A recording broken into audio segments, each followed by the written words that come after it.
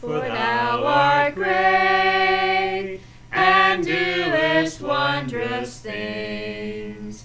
Thou art God alone. Teach me thy way, O Lord. I will walk in thy truth.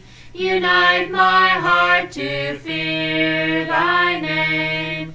I will praise thee, my God with all my heart, and I will glorify thy name forever.